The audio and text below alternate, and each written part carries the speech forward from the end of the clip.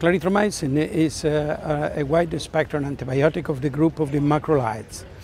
There is a growing evidence supporting the use of this antibiotic uh, as a repurposing drug in cancer patients. A repurposing drug is a molecule that can be used for a different indication for those who was uh, uh, commercialized.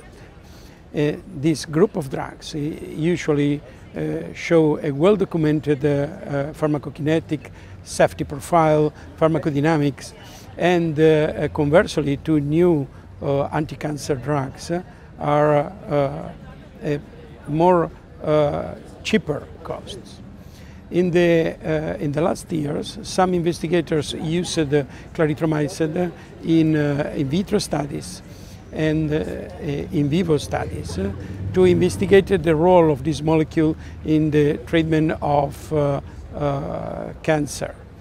In, in particular, these antibiotics show different uh, antiproliferative mechanisms. And uh, in some clinical trials, uh, this antibiotic was associated with encouraging results, most in patients with multiple myeloma or Waldenström macroglobulinemia. There are some anecdotal cases showing encouraging results also in patients with uh, relapsed Hodgkin lymphoma, follicular lymphoma, and MALT lymphoma.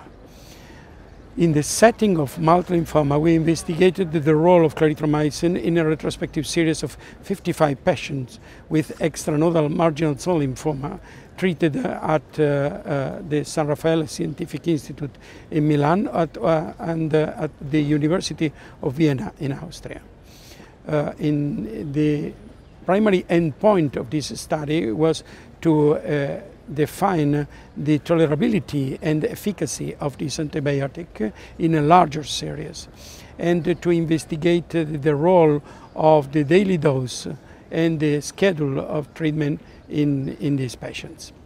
The uh, considered patients were treated with three different uh, uh, uh, schedules.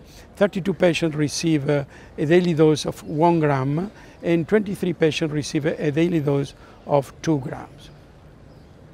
The treatment was uh, uh, associated with an excellent tolerability. There were no cases of grade 4 toxicity and there were only three cases of grade 3 toxicity. Nausea. Nausea was the main uh, side effect, uh, was more common in patients treated with 2 grams a day and uh, uh, was the main cause of treatment interruption. But uh, importantly, there were not cases of hematological toxicity, infections, or electrocardiographic abnormalities.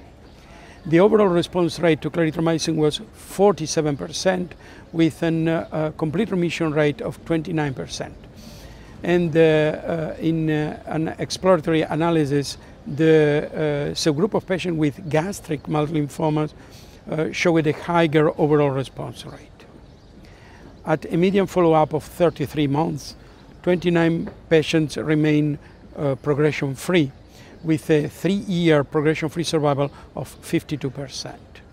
Uh, no patient did of lymphoma, and uh, the, uh, the comparison of these results with uh, those uh, obtained in some phase two trials uh, with other modern molecules like ibrutinib, lenalidomide, uh, bortezomib, everolimus, showed that clarithromycin is associated with a similar activity and efficacy, but with a significantly better uh, tolerability and with uh, a high cost effectiveness.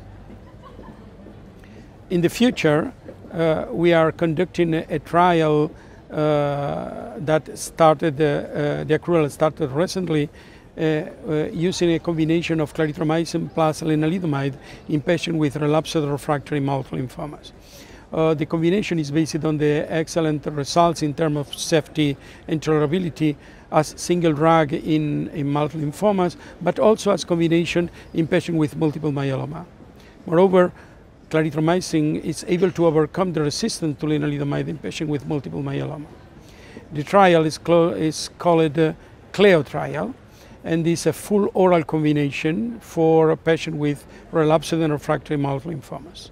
The hypothesis is that the addition of clarithromycin will improve the overall response rate from 60% to 75%. And this may be a new uh, strategy, chemo-free, uh, less expensive for this subgroup of patients.